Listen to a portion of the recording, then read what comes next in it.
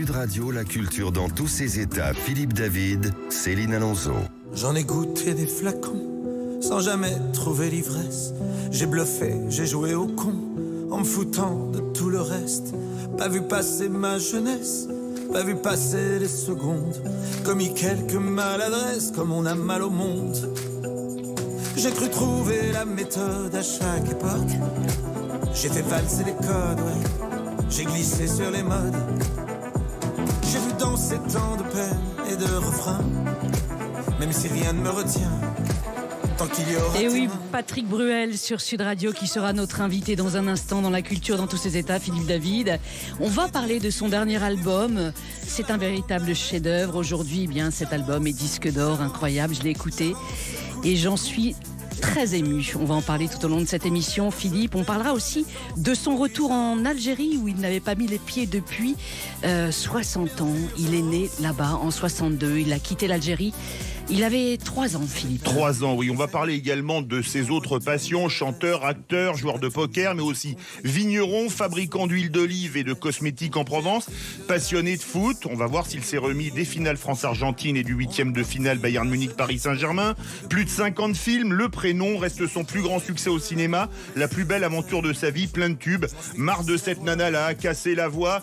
C'est l'heure du café et on peut être certain que cette émission va être un délice. Et oui, un vrai délice, c'est vrai, sur Sud Radio. Et avec son dernier album, eh bien, il sera en tournée dans toute la France à partir du 27 février 2024. Patrick Bruel, la billetterie est ouverte depuis ce matin, alors n'hésitez pas. Euh, réservez dès à présent, il sera dans quelques minutes avec nous donc sur Sud Radio. Alors restez avec nous, il nous dira tout donc euh, de cet album et surtout de son retour en Algérie. À tout de suite. Radio, la culture dans tous ses états. Philippe David, Céline Alonso.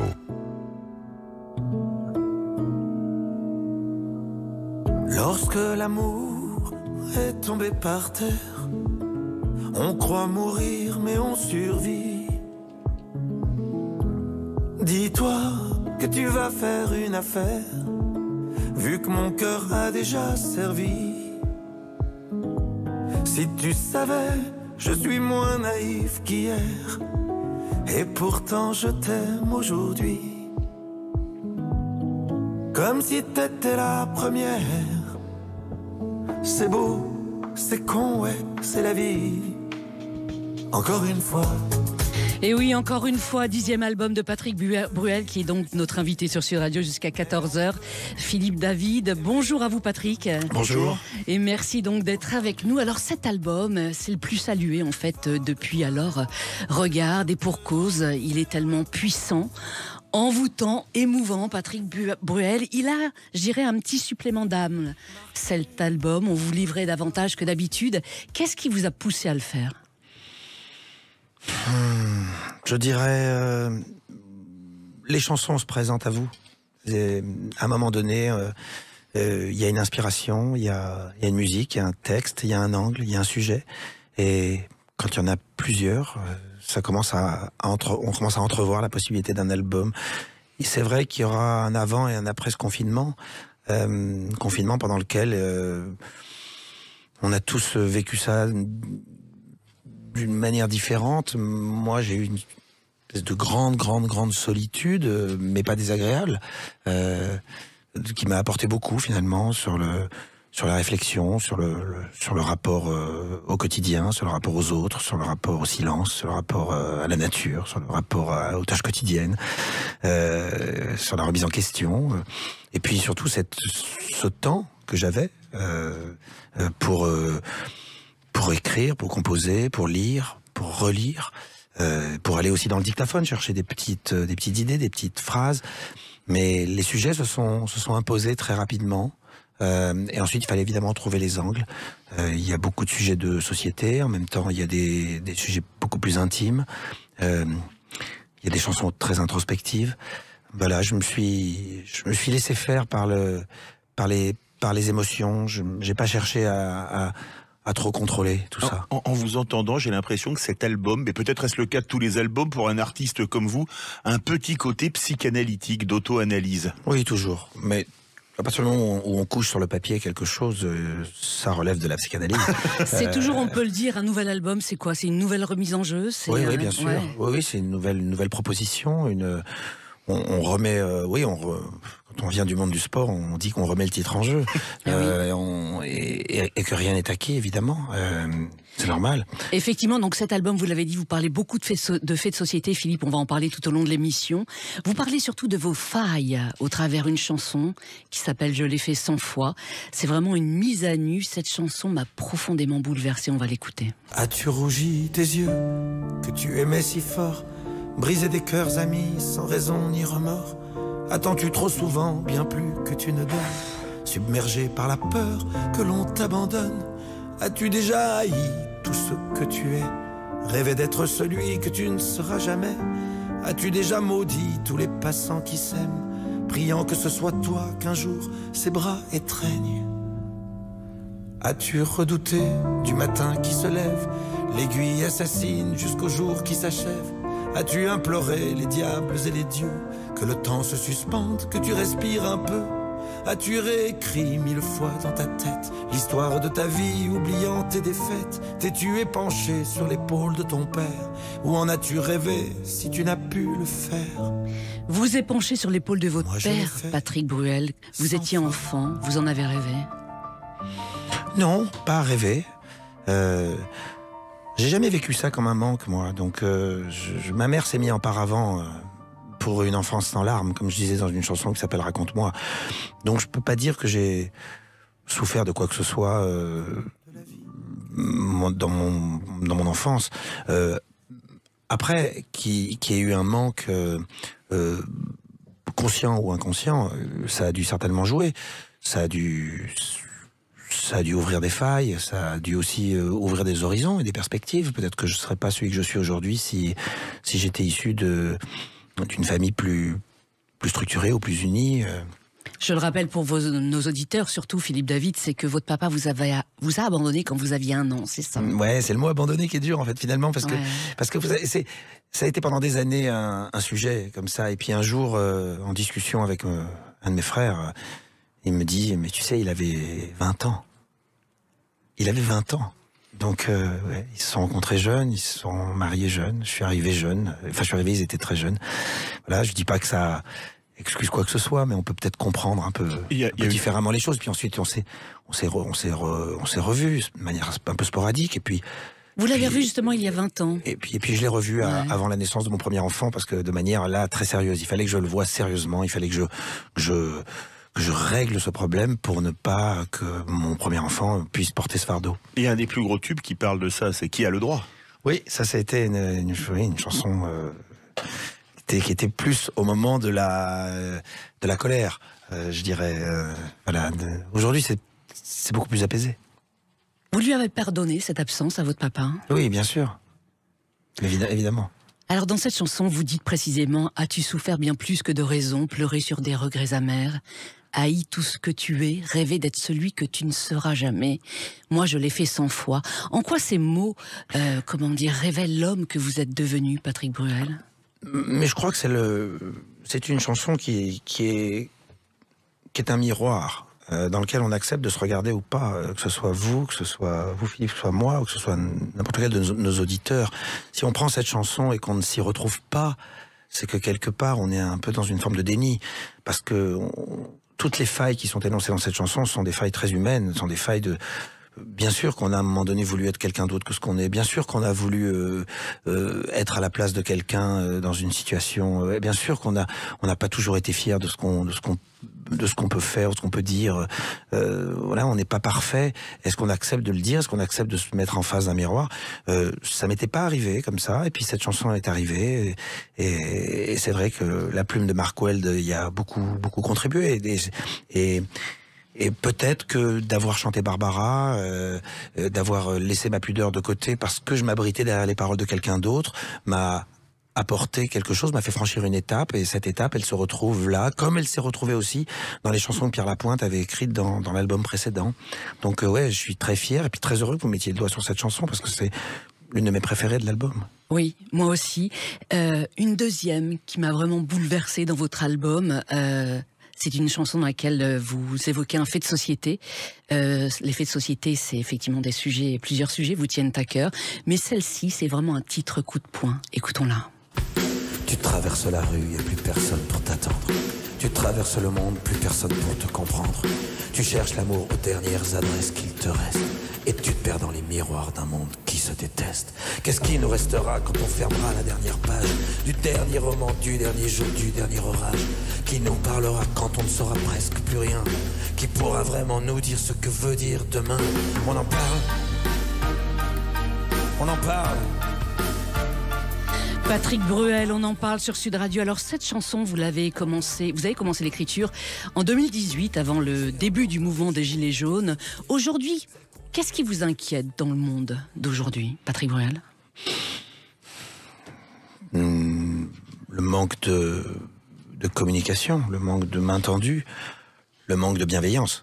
Euh, ce besoin aujourd'hui systématique de, diviser pour mieux régner, ce, besoin euh, euh, enfin la peur. C'est surtout la peur qui, qui, provoque euh, le repli sur soi, qui, qui est qui est qui est aujourd'hui euh, devenue monnaie courante.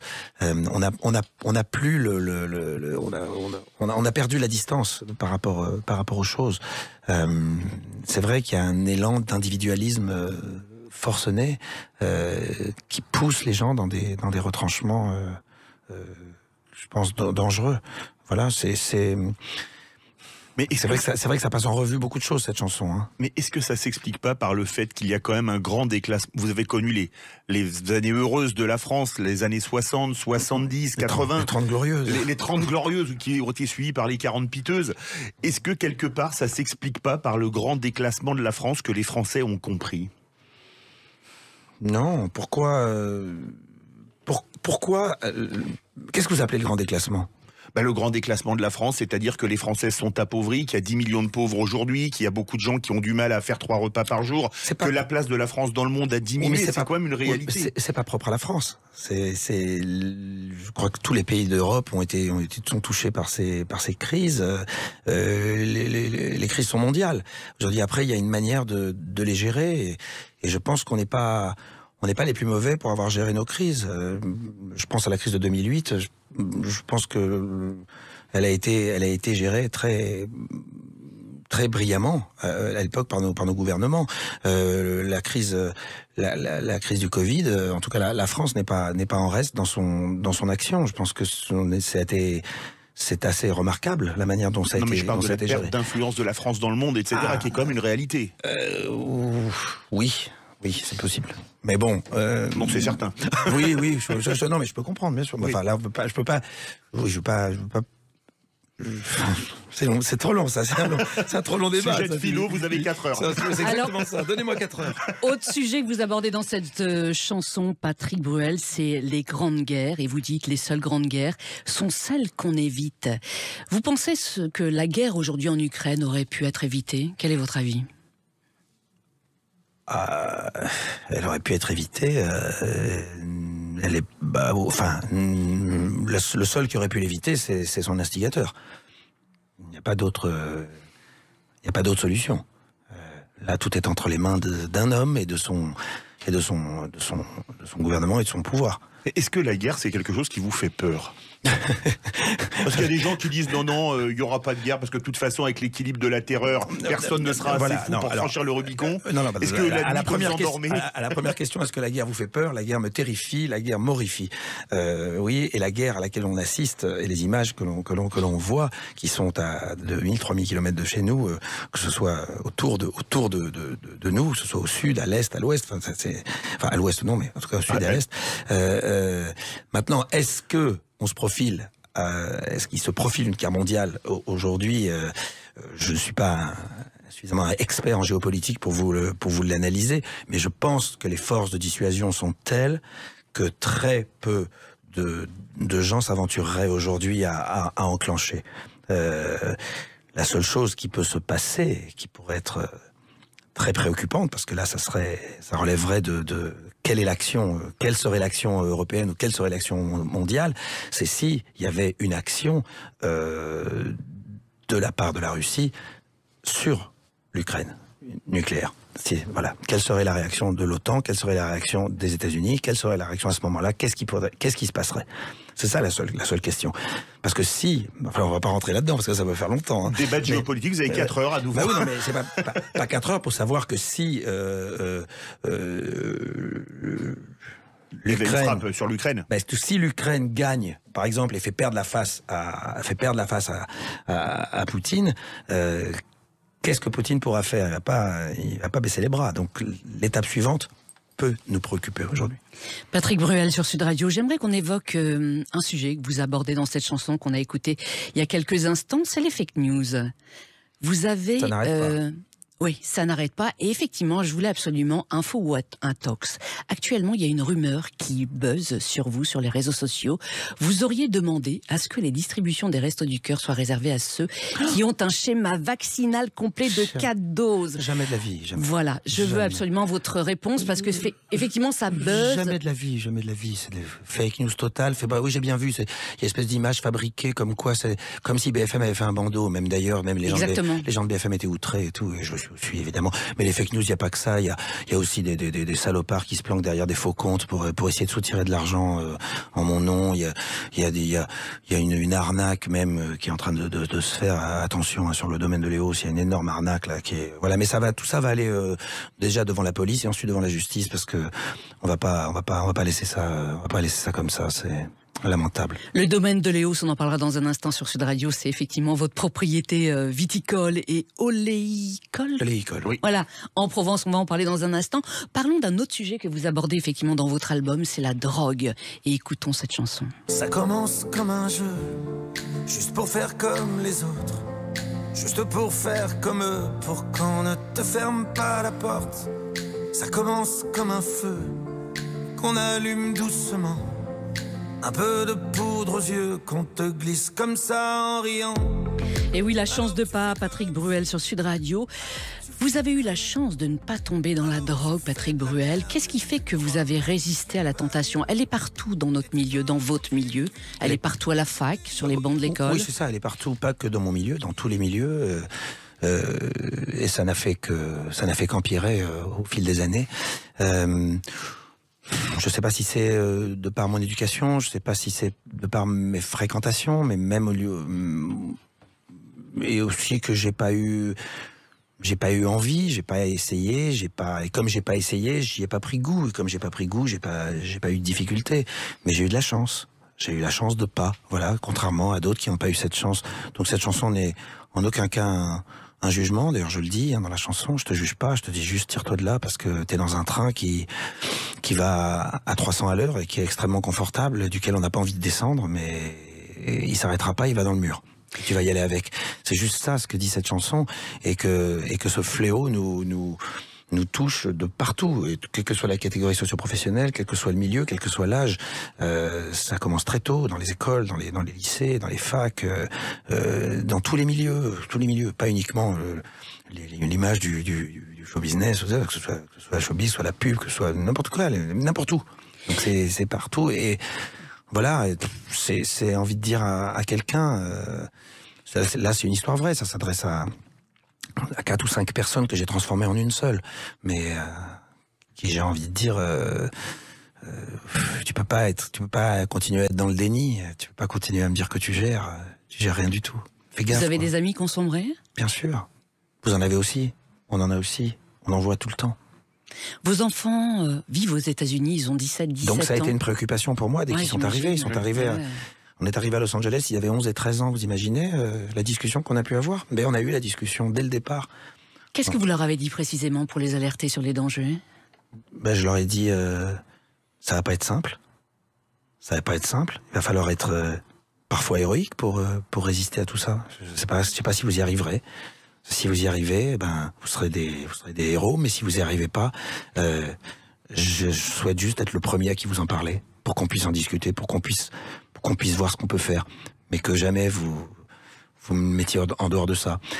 C'était des discussions et des discussions sans cesse, sans arrêt. Et puis moi, essayer de voir aussi le, leur fréquentation, l'entourage, les soirées où ils étaient invités. Et puis après, ça s'est fait de même. Bon, pour l'instant, euh, ils ont la, ils ont la chance de pas. Voilà. Et moi aussi avec. Et nous aussi. Patrick Bruel sur Sud Radio, on va se retrouver dans un instant. On va parler de votre tour en Algérie. Comment vous et votre maman avez vécu ce, avez vécu, pardon, ce retour au pays natal? En quoi ce voyage a-t-il été bénéfique pour vous? Vous nous direz tout dans un instant sur Sud Radio, la culture dans tous ses états avec Patrick Bruel. C'est tout de suite. À tout de suite. Sud Radio, la culture dans tous ses états. Philippe David, Céline Alonso.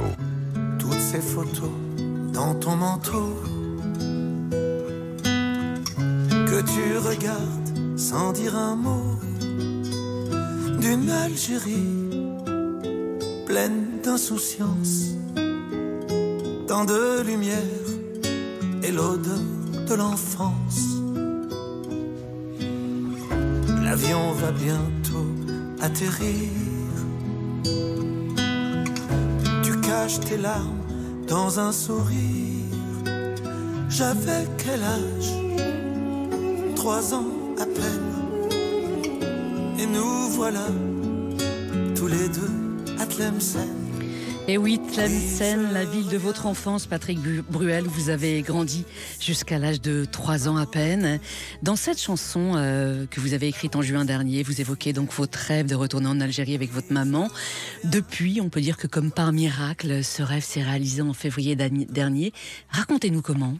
Je sais pas si c'est un miracle, mais en tout cas, c'est un étrange concours de circonstances. Euh, ça fait des années hein, que, je, que je projette de retourner un jour en Algérie et, d'y retourner avec ma maman. Et le temps passe, le temps passe, et finalement ça ne se fait pas parce que parce que je, ne m'y attelle pas, parce que je ne m'en préoccupe pas plus.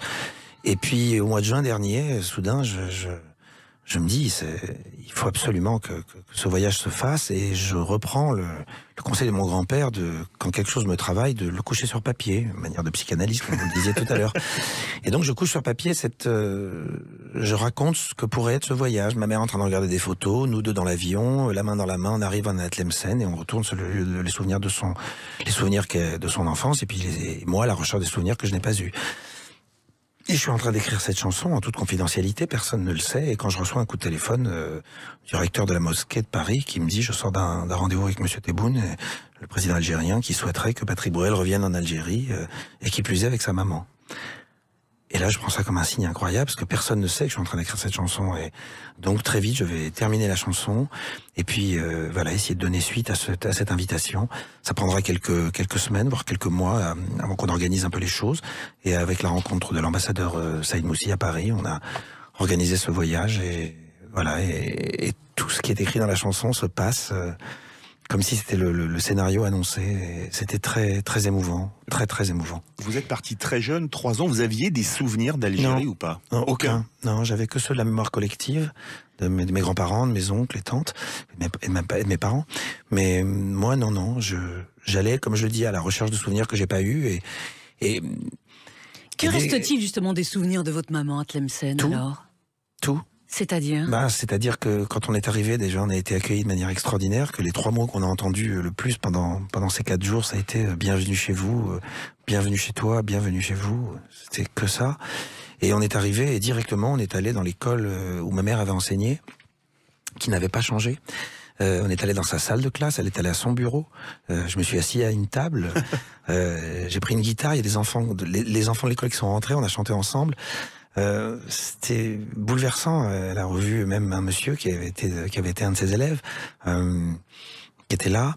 On a vu le registre de, de l'école dans lequel il y avait son écriture encore, euh, euh, sur plusieurs années.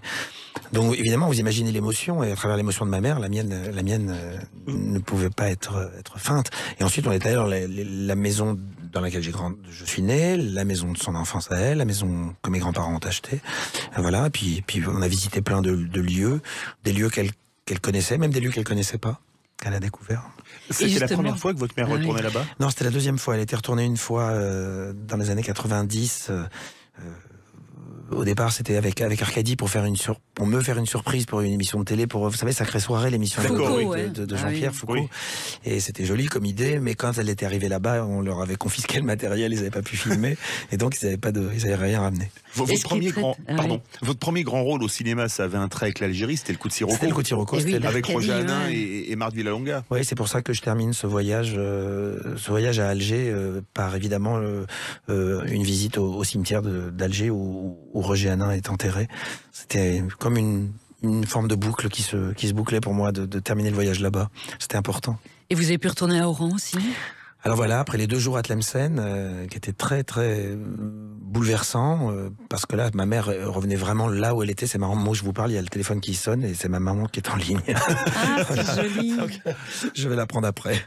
Il y a une anecdote justement que vous avez vécue à Tlemcen et qui m'a vraiment euh, très touchée. Vous l'avez raconté dans la presse. C'est quand vous avez euh, rencontré les gens qui sont actuellement propriétaires de la maison de vos grands-parents. Oui.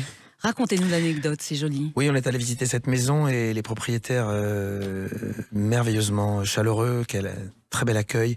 Euh, la première chose que la dame a faite, c'était de me dire venez, venez avec moi. On est allé dans la cuisine et elle m'a montré le registre, l'acte de vente de la maison pour bien me signifier que la maison avait avait bien été vendue et pas euh, Exproprié. pas quoi. exproprié, pas confisqué, quoi que ce soit. Et c'était très touchant de voir la date de la vente de la maison, puisque c'était le 20 mars euh, 1962, euh, les accords d'Évian étant le 19 mars et l'indépendance euh, le 3 juillet. Euh, donc voilà, c'était au bon moment en tout cas. C'était c'était limite même. Mais mon grand-père a réussi à vendre la maison. Mais Sud Incroyable. Radio, parlons vrai, on peut dire que le, le- depuis 61 ans maintenant de l'indépendance, on peut le dire, l'Algérie euh, fait son beurre sur, euh, on peut dire, le, le rejet de la France, on peut le dire même Pas, pas systématiquement. Non. assez souvent. Est-ce que le peuple, est-ce qu'il est aussi francophobe que le laisseraient penser certains propos des dirigeants algériens? Pas du tout. Il, vraiment, pas, enfin, pas, pas de ce que j'ai ressenti et pas de ce que j'ai toujours ressenti, même ici en France. Mais, j'ai peut-être un rapport particulier euh, avec euh, la communauté euh, franco-algérienne euh, de, de, de France, euh, qui a toujours beaucoup de chaleur, beaucoup de, de, tendresse avec moi, mais aussi parce que je n'ai pas été élevé, comme je le disais, dans, dans la rancœur. J'ai pas été élevé dans la dans la haine. J'ai pas été élevé dans la revanche. Mais qu'est-ce que- alors on a été justement, élevé, mon, mon- ouais. mon grand-père et ma grand-mère euh, et mes oncles et ma mère, c'était toujours euh, des souvenirs heureux. C'était toujours une, une vie en communauté. Euh, juifs et musulmans vivaient euh, vivaient parfaitement ensemble. Il y a il y a jamais eu de. Il y avait pas de questions. Il y avait pas de problème. Il y avait parfois plus de problèmes entre entre les Français les et, et les et les et les, et les Algériens euh, sur de certains Français et certains Algériens. C'était voilà, il y avait beaucoup de nuances à apporter. Euh, Mais de la guerre, qu'est-ce qu'ils vous ont raconté? Ils m'ont raconté. vous savez, pendant très longtemps, on a parlé des événements de 60 de- de- de- d'Algérie. Des événements. Pourquoi il n'y a ce- pas eu de guerre, mais des opérations de maintien de l'ordre. pour- pourquoi ce mot? C'était pas des événements, c'était une guerre. C'était une vraie guerre, avec tout ce que ça comporte d'horreur, avec tout ce que ça comporte de de de, de, de saloperie. Donc euh, euh, voilà, on ne peut pas garder un, un souvenir euh, euh, quelconque de positif de, de, de- d'une période pareille et de guerre. Euh, voilà, mais mais en revanche, euh, euh, la vie, la vie et la, vie en communauté était était était très belle. Voilà, donc c'est donc moi quand j'y suis retourné là, j'ai j'ai eu que de l'affection, j'ai eu que des que des sourires, j'ai eu que des regards et c'est surtout depuis que je suis rentré où il n'y a pas une journée où je croise pas deux, trois, quatre, cinq personnes qui me qui me qui m'approchent, qui me disent merci, merci d'être venu, merci pour ce que vous avez fait, euh, c'était fou. euh, mais là, pas plus tard qu'en venant tout à l'heure ici, le chauffeur de taxi, euh, euh, je suis monté et il m'a dit euh, je vous emmène à Tlemcen ou La note aurait été salée. Hein. Donc c'était vraiment touchant, quoi. Et, et vraiment, je- voilà, c'est c'est un, c'est un, c'est un, c'est un beau voyage. Je suis très très heureux de, de, de ça. Est-ce que votre famille a souffert du euh, déracinement Moi, je vous donne, je vous pose cette Je question. peux- on peut pas, on peut pas, on peut pas ne pas euh, souffrir d'un déracinement. Euh, après, il y a la manière d'exprimer cette souffrance, Bien qui, sûr. qui est importante. Ouais. Moi, je vous parle de ça parce que ma famille est aussi euh, d'Algérie. Je me souviens de mon, mon papa, par exemple. Je sais qu'il est parti. euh, Bon, il est mort très jeune, euh, mais il est parti avec le mal du pays et il en parlait tout le temps. Il y avait une vraie souffrance. Hmm. Ce manque de l'Algérie était en lui. Oh, bien bien Ouais. sûr, ma, ma, ma grand-mère a, a- a souvent parlé de, de, du, du- de, ce, de ce soleil qui lui manquait. Voilà, de cette, de cette, de ce- de cette atmosphère, de, cette, de ces moments. Voilà.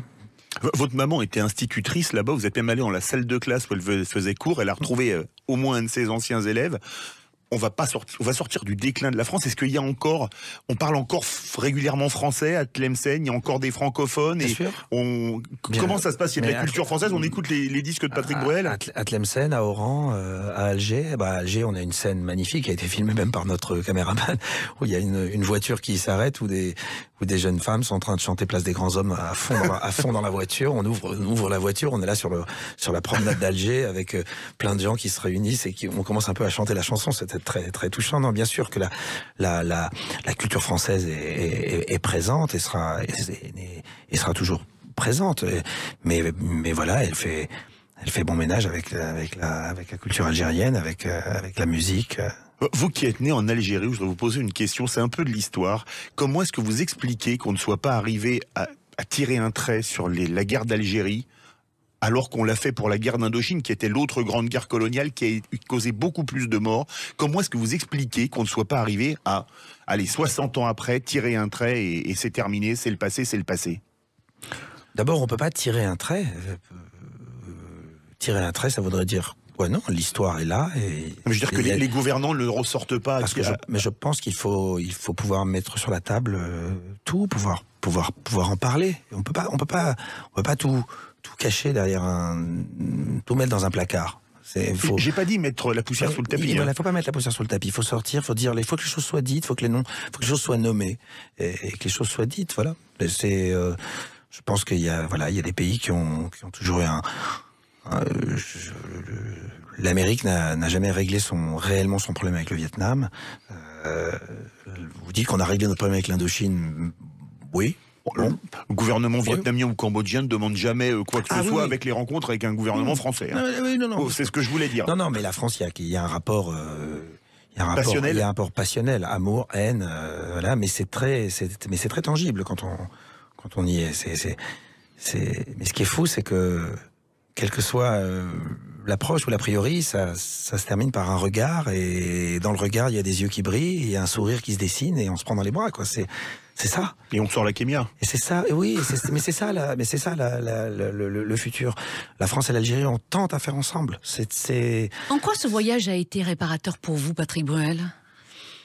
Il a été, euh, j'espère qu'il est réparateur pour d'autres, mais pour moi, euh, j'avais pas à réparer, j'avais à, j'avais à, à, avancer, j'avais à comprendre, j'avais à, à fouler, euh, à fouler la terre de, de, de mon enfance, euh, enfin de, de, ma naissance, et puis surtout, j'avais à, revenir avec ma mère la main dans la main euh, et lui faire plaisir, tout simplement. Moi, je voulais faire plaisir à ma mère dans tout ça, tout, tout ça, et je suis heureux de lui avoir fait plaisir.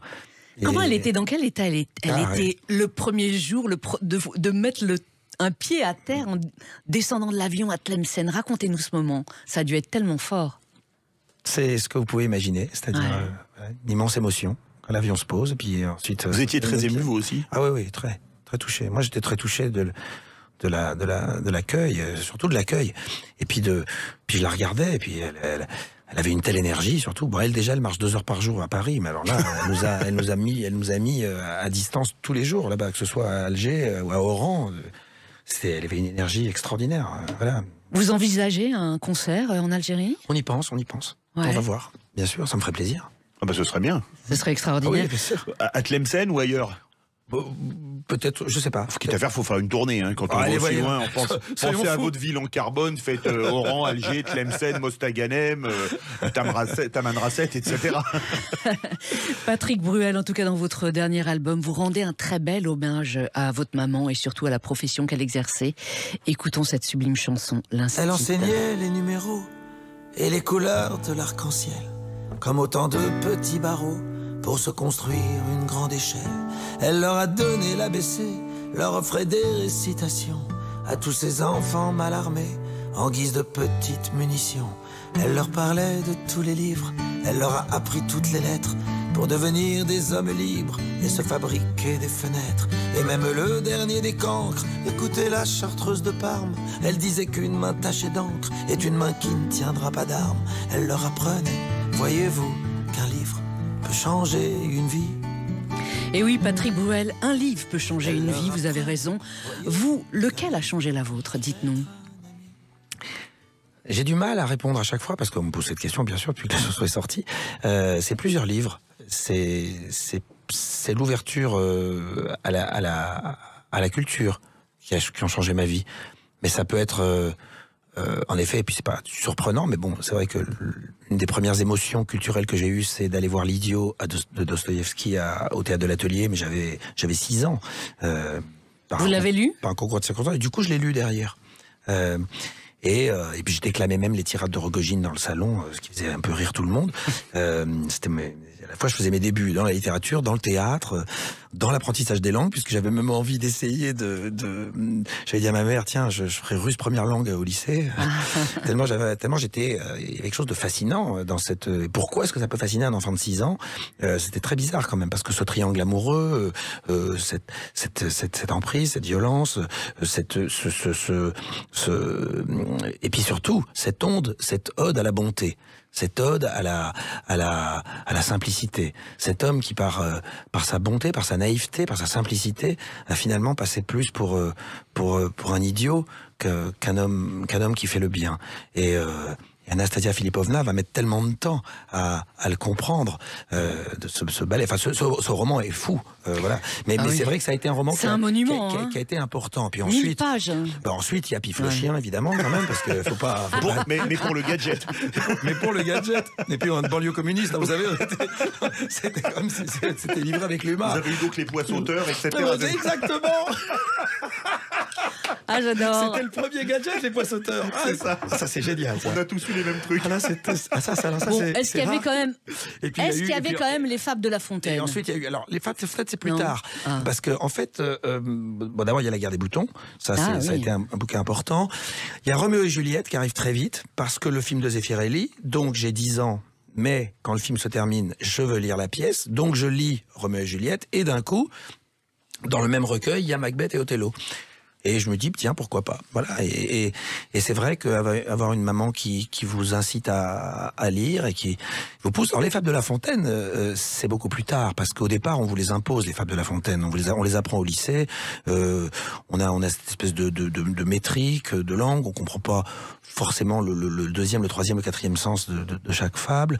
Et puis, c'est beaucoup plus tard, quand on, quand on s'y penche euh, et qu'on s'aperçoit de la richesse, de la puissance, de l'extraordinaire euh, euh, génie de, de La Fontaine. Euh, Fabrice Lucchini euh, euh, le- nous le sert merveilleusement également. Actuellement au théâtre Oui. euh, c'est Ouais. comme il le fait depuis toujours. Mm, Il rend ça. Voilà. Donc euh, oui, il y a des livres qui ont changé, qui ont changé beaucoup de choses pour moi. Il y a un livre qui a beaucoup, de qui a changé beaucoup de choses dans ma vie. euh, euh, professionnelle ou dans ma vie, même dans ma vie d'homme, c'est le bouquin de, de Frank Capra, qui est euh, la biographie de Frank Capra, qui s'appelle Hollywood Story en français, alors qu'en anglais c'est The Name Above the Title, c'est euh, c'est le nom au-dessus du titre, qui est la- le, le graal de chaque euh, artiste, avoir son nom au-dessus du titre. Et c'est le, le parcours d'une vie, l'abnégation d'un homme, euh, le travail, euh, traverser le siècle, euh, le, 20e siècle, et, donc toute l'histoire du cinéma à travers, à travers lui, et surtout son parcours. Alors c'est une leçon pour euh, quelqu'un qui veut se lancer dans, dans, dans, dans, dans quoi que ce soit d'ailleurs. Euh, euh, voilà, ça, alors, c'est un bouquin qui a été important pour moi. Qu'est-ce que vous euh, diriez justement hein. aux jeunes aujourd'hui pour les inciter à la lecture? Ils sont de moins en moins, effectivement, euh, Bah, de moins en moins devant, devant des livres, Philippe. Bah, Plus sur leurs iPhones, malheureusement. Oui, à la fois c'est une, il y a une, une autre forme de de culture, si, si j'ose dire. Moi, je ne suis pas, euh, je suis pas passéiste, c'est-à-dire que ce qui se passe aujourd'hui n'est pas n'est pas intéressant. L'internet apporte énormément de choses, mais être sur son iPhone, c'est c'est c'est faire tout ce qui se fait sur avec un iPhone, mais c'est mais c'est aussi euh, euh, l'accès à Internet. L'accès à Internet, c'est l'accès immédiat justement à cette culture. C'est que vous pouvez instantanément euh, taper euh, Victor Hugo et lire quelques lignes, quelques phrases, et qui vous donneront peut-être envie d'aller d'aller d'aller rencontrer cet immense cet immense homme d'État et, et et, et- auteur qui était peut-être un des plus avant-gardistes et le plus le plus le plus visionnaire de de, de, de tous nos de tous nos auteurs. Euh, euh, c'est de dire à quel point le, le livre est un compagnon de route, est un ami, un ami qu'on laisse de côté. On a un livre, on n'est pas obligé de tout lire de tout lire en même temps. On, on commence et puis on le laisse de côté. On va faire d'autres choses, mais on y pense. On a envie de le retrouver. Puis on le retrouve, on passe du temps avec lui. Et puis, on, puis quand on a terminé, ben quelque part on a on aimerait que ça continue parfois. euh, alors on en prend un autre et puis on voilà, on se fait quelques amis comme ça qui sont qui sont pour la vie et qu'on peut retrouver de temps en temps, qu'on peut revoir. C'est j'ai eu cette chance là, moi, de d'aimer la lecture. Mais il faut donner aux gens envie d'aimer la lecture. C'est, il y a, tout est question d'initiation. On peut pas dire à quelqu'un, euh, bon bah t'as jamais lu, vas-y, euh, euh, attaque, euh, attaque la recherche du temps perdu tout de suite parce que tu vas, tu peux pas ne pas l'avoir lu. Ben le mec il te dit, ben si, euh, je- je- non, il faut initier. Il faut donner envie. Et les De- professeurs sont là pour ça. Et les instituteurs sont là pour ça. L'instituteur, qui est un l'hommage de cette chanson, est l'hommage à l'instituteur, l'institutrice, celui ou celle qui donne les premières clés à, à nos enfants pour entrer dans la société. Et, et c'est cela que j'ai envie de saluer à travers cette chanson. Patrick Bruel sur Sud Radio, on va se retrouver dans un instant. Et vous nous emmènerez en Provence. On va partir dans votre livret et au plein cœur de vos vignes, à l'île sur la Sorgue. À tout de suite, restez avec nous. Sud Radio, la culture dans tous ses états. Philippe David, Céline Alonso. Oh, j'en ai fait des ratures et gribouillé le paysage.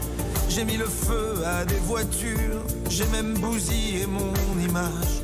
Tu peux guérir toutes mes blessures, tu es la seule qui me fait du bien. Si j'avais besoin d'une doublure, t'aurais le rôle, c'est certain. Si je me perds, viens me retrouver. Pour hier, pour l'éternité, t'es le repère de ma journée. Dernier verre, premier café. Dernier verre, premier café.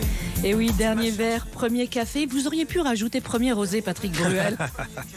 Je dis ça parce que vous avez lancé votre première cuvée de rosé l'année dernière, la, la cuvée Augusta, c'est ça hein? le rosé Léos. Léos, Léon et Oscar, c'est le domaine hein, qu'on fait l'huile d'olive, donc H de Léos, la, la- ligne cosmétique, l'olivier de Léos, et puis euh, ce rosé, le rosé de Léos, cuvée Augusta, du prénom de ma maman.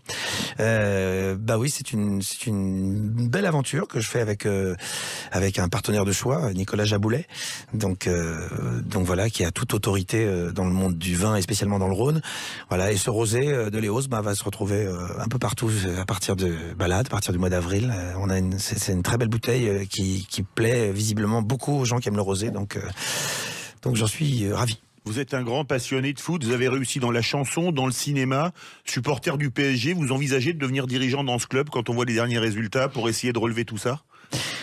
Vous savez, c'est complexe le PSG. C'est un club. Ah, c'est euh, plus que complexe. Là, Eh, mais c'est un là, club- par rapport vous à la devez- psychanalyse. Vous, vous devez jamais simple. oublier, euh, vous, vous qui êtes euh, très ami avec Daniel Echter, que, que l'on salue, euh, que ce club a été créé en 1970. Oui. Donc c'est un club jeune, c'est un club qui vit ses expériences et qui, qui doit avancer, et qui doit, qui doit rencontrer des obstacles, des difficultés pour, pour y arriver. Et, et on gagnera cette Ligue des Champions un jour, on la gagnera. Euh, les concours de circonstances n'ont pas été très favorables. On n'a pas eu on a quelque chose de très spécial qui se passe quand même autour du PSG dans ce, dans cette, quand on arrive si près de cette échéance, que cette espèce de peur d'y arriver ou cette espèce de peur de, de, de passer Le le, cap. Il y a un plafond de verre, c'est quand même fou. Euh, je dis pas que là, on, on avait, euh, on avait le, le, le, le niveau pour battre ce Bayern là. Non, on n'avait pas ce niveau-là. Mais je pense qu'on avait le niveau pour battre le Manchester qui nous avait éliminé, le Bayern, qui- le, le, le Real qui nous avait éliminé l'année d'avant, Oui. et encore plus ce, ce 6-1 contre Barcelone. Donc quelque chose d'un peu, d'un peu maudit pour l'instant, mais vous savez, tout est cyclique et à un moment donné, ce PSG se retournera et gagnera cette Ligue des Champions parce qu'on en a le, on en a le, le- le- la possibilité, le cœur et l'envie. Voilà, mais euh, mais en attendant, euh, on a on a des, des beaux matchs, on a du beau football, on a du beau jeu euh, à Paris, on a du beau jeu dans ce championnat de France qui, qui, qui, est, qui relève son niveau ces dernières, ces dernières années. Donc, euh, allez. Allez, Paris. Et allez, les Bleus. Alors les Bleus, oui, bah qu'est-ce que vous voulez? On est, on est allé, hum, c'était merveilleux d'aller, d'aller, d'aller si loin, d'aller en finale. Oui. Euh, on pouvait la gagner. Oui. On Mais on va oublier les tirs au but. Voilà. Patrick Bruel, avant de terminer cette Allez-y. émission, un mot sur la tournée 2024 qui va commencer donc le 27 février à l'Arena de Narbonne. Voilà, ça, hein? on a on a ouvert les on a ouvert la, la location donc euh, bah, ce matin à 10 h Donc je suis euh, je suis très heureux des premières euh, premières réactions. Les gens les gens attendaient avec impatience. Donc euh, moi je suis très touché de leur impatience. Je le suis aussi. On va se retrouver sur les routes. On va on va recommencer la- l'aventure. C'est toujours quelque chose d'extraordinaire de, rentrer dans une salle et de, sentir cette ferveur, de sentir cette, euh, cette attente, ce partage. Il y, a, il y a quelque chose d'assez unique qui se passe dans ces concerts. Voilà, ceux qui sont venus savent de quoi je parle. Et les autres, ben, s'ils sont curieux, ça nous fera plaisir de les accueillir. Et oui, vous serez après Narbonne, vous allez faire tout un tour de France, effectivement, Aurillac, Limoges, Orléans, Strasbourg, Rouen, Toulouse, Marseille, Pau. Merci Patrick Buruel Merci à d'être euh, et, et on sera à la, venu. et on sera à l'accord Arena de, de Bercy euh, dans un an, Exactement. quasiment pile, 14 et 15 mars On 2024. sera là, on viendra vous voir tout de suite sur Sud Radio. Vous retrouvez Brigitte Lahaye.